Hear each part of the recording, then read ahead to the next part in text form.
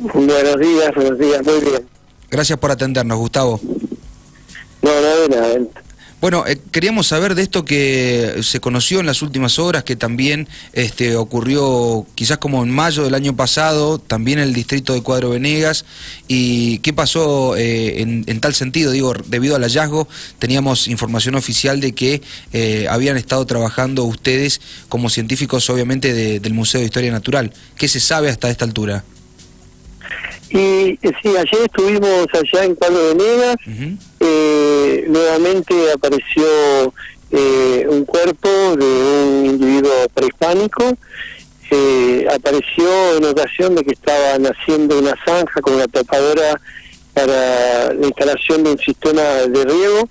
Y, bueno, cuando estaban sacando la tierra apareció un, restos humanos y bueno, por suerte avisaron a la policía y la policía nos llamó a nosotros.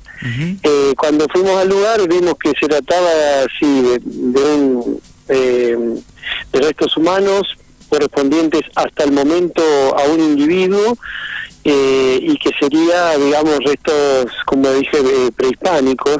Apareció un cráneo, una tibia, un fémur, una clavícula, las costillas y un fragmento de cintura pélvica. eh, así que nos desconocemos obviamente la antigüedad porque eso se, se establece a través de, de carbono 14, algo que, que haremos en los próximos meses. eh, pero bueno, es un hallazgo muy importante y que se complementa no solo con lo que apareció hace un par de meses muy cerquita, en, lo, que es Finca Flores, ahí en, en Cuadro Venegas, sino también con algunos otros hallazgos que había realizado la Giglias, ahí en, la costa de San Juan los Inquilinos, eh, que bueno, que está mostrando que este área realmente es un área densamente ocupada, eh, de tiempos prehispánicos y que bueno que a nosotros nos da una gran cantidad de información acerca de la forma de vida de los grupos humanos que vivían en el pasado. Muy bien. Bueno, esto es materia de investigación para, para dar justamente con lo que vos decías, ¿no? El sexo, la edad de esta persona, este, a la edad que murió, ¿no? Diferentes datos, pero un dato no menor es que se pudo obtener eh, el cráneo, justamente, ¿no? Que es una pieza importante, digo, eh, respecto a, a restos óseos, ¿no? Sí, sí, eh, digamos, todos obviamente son importantes. El cráneo tiene una particularidad que por ahí guarda algo más de información eh, por, la presencia de los dientes, que también eh, nos, muestra, por ejemplo, la presencia de caries. Este individuo tiene al menos dos caries, tiene un desgaste dental muy avanzado, lo que implica de que es una persona adulta, mayor, que es algo así como unos 50 años tal vez.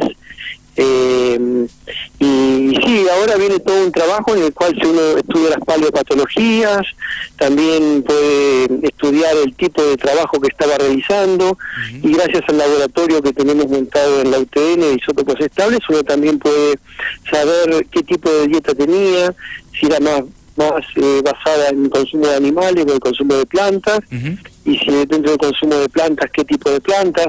Así que ahora viene, queda mucho trabajo por hacer. Eh, de hecho, todavía no ha sido extraído en su totalidad. eh, hemos arreglado con, muy gentilmente con la gente dueña de, de finca eh, seguir trabajando en las próximas semanas, porque hay restos enterrados todavía.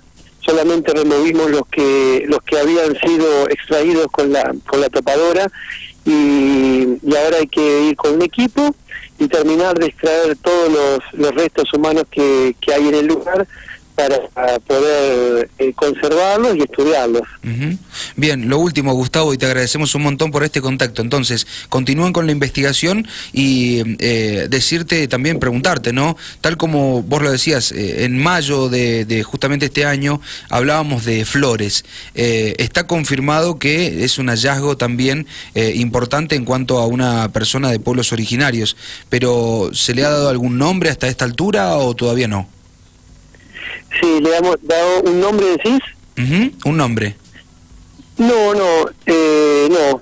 Está también está ahora bajo análisis. Lo está estudiando eh, una bioantropóloga que es Eva Peralta, que trabaja acá con nosotros en el museo y está mm, analizando justamente las, las patologías y los marcadores de actividad es decir, cuando uno realiza un determinado trabajo en forma repetitiva durante mucho tiempo, en los huesos quedan algunas marcas eh, que son las que está estudiando eh, la bioantropóloga.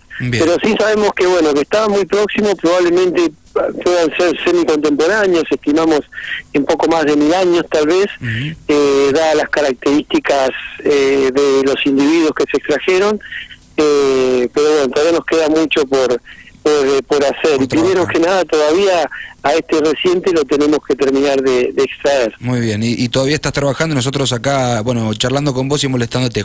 Bueno, pero te agradecemos un montón, Gustavo, por esta información como siempre.